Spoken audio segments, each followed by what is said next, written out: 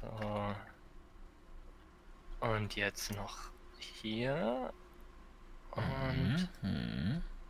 das da. Geh mal da weg, du stehst im Weg. Ja, ja, ja, Entschuldigung, Entschuldigung, Entschuldigung. Ich So. versuche gerade noch zu entschlüsseln, was das kann. Also Und ich, hier ist ein hier haben wir noch eine Trichter Initialzündung. in die Dings, eine Initialzündung, okay. Hier haben wir noch einen So, ja. Hebel. Ja, guck, guck, guck, guck, guck, warte mal. Ja. Hier, also das ist jetzt die, die Maschine hier, ne? Guck mal. Hier, Ja, da ja, kann man ja. Licht an, Licht aus, Licht an, Licht aus, Licht an, Licht aus. Oh, man kann Licht an, Licht Hier aus. vorne, da, da kann man was reintun. Ja, ja, ich hier leg mal was die- rein, in so, hier. Aha, ja, wenn aha. man hier noch in den Trichter was reintut, dann läuft es rüber. Aber jetzt hier, schau mal, zack. Und da kommt was raus, Freunde. Nein, nein, da ist was rausgeflogen. Busch. Ja, und ja, und guck mal, hier, dieser Repeater mit dem Knopf, das wäre so eine Initialzündung. Und ähm, Also äh, Initial, äh, aber nicht Initialausmachung, oder? äh, nee.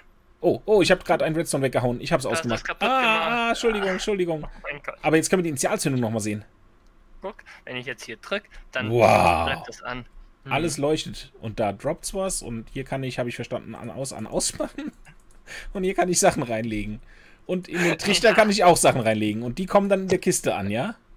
Ja, aber, aber nicht, nicht wenn du, wenn du hier einmal jemals äh, äh, den Knopf oder den Hebel gedrückt hast, ne? Äh, äh, und, und wenn ich den Hebel jetzt wieder ausmache, dann äh, ist die Hälfte aus. Ja, und jetzt hier, zack, macht man wieder alles an. Okay, das ist alles ganz, ganz toll, Busch, aber beantworten wir eine Frage. Oder drei Fragen. Was ist das? Wofür ist das gut? Und bist du heute Morgen mit dem Kopf aufgestanden? Was ist hier los? Was soll das sein? Ja, äh, ja, ähm, also im Endeffekt das, das einzig Gute, was man mit dem Ding hier machen kann, ist es abreißen. Okay. Und das war unsere heutige Einführung in Redstone Schule. Das heißt, wir sehen uns gleich nach dem Intro und dann mit dem wirklich echten Thema. Bis dann.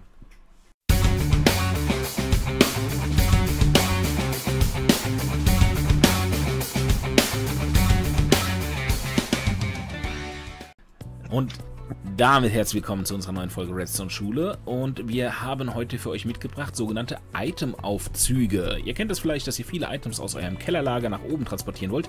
Wie es nach unten geht, das ist euch immer relativ schnell klar gewesen. Einfach mit Trichtern schön nach unten transportieren oder ähnliches. Oder ihr schmeißt sie einfach runter und sammelt sie wieder auf. Alles easy, alles kein Problem. Aber wenn das Ganze nach oben soll und dann vielleicht auch vertikal noch ein Stückchen weiter transportiert werden, dann wird die Nummer gleich ein kleines bisschen schwieriger. Und wie wir das Ganze lösen, in zwei verschiedenen Vorschlägen, das haben wir euch heute hier mitgebracht. Wir gehen erstmal zu der einfacheren Variante und die finden wir hier drüben. Ja, wir sehen hier, was sehen wir denn hier? Wir sehen hier unten eine Glock. Eine Glock, die sich speist aus einem Comparator, der hier den untersten Dropper ausliest. Das heißt, wenn da entsprechende Items drin liegen, kriegt hier der Item, äh, kriegt hier der Item Repeater, ja. Äh, wenn hier unten entsprechende Items drin liegen, wird hier der Comparator befeuert, der ein Signal an diesen Block gibt, der wiederum an diesen Repeater über das Redstone in diesen Repeater und seitlich hier in den Comparator wieder rein, was dazu führt, dass wir hier eine Clock haben. Ja, das wird einfach hin und her blink, blink, blink geschaltet. Hier drüben wird das Signal abgenommen, geht über den Repeater in den Block, der bepowert wird, in die Torch, in den Block, in die Torch, in den Block, in die Torch. Und somit haben wir hier den klassischen Torch Tower vor uns stehen, den haben wir ja auch letztens erst erklärt, der immer wieder blinkt an, aus, an, aus.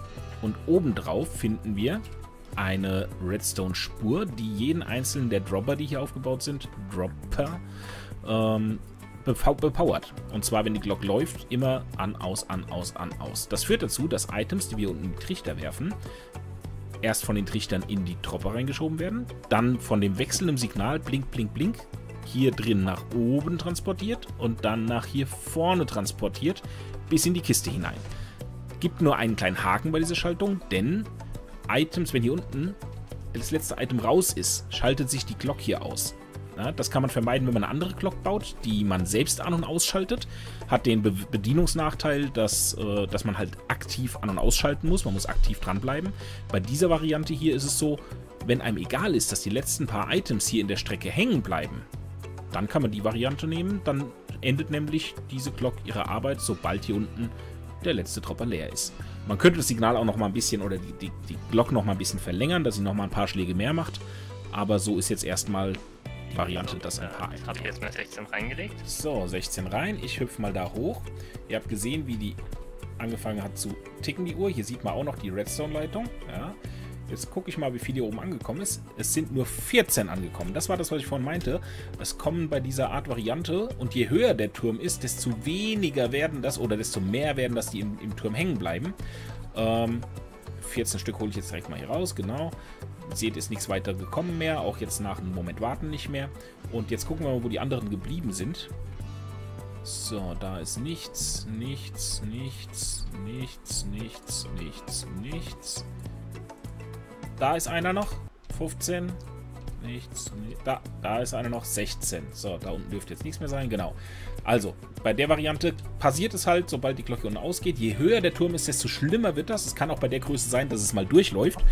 Ähm, je nachdem, wie auch die Ticks gerade laufen. Aber äh, an sich, je höher der Turm wird oder je weiter ihr es nach oben transportieren wollt, desto höher ist das Risiko, dass eine gewisse Anzahl von den Items, die ihr nach oben transportieren wollt, einfach zurückbleibt. Solange es ihr mit dieser Art Glock betreibt.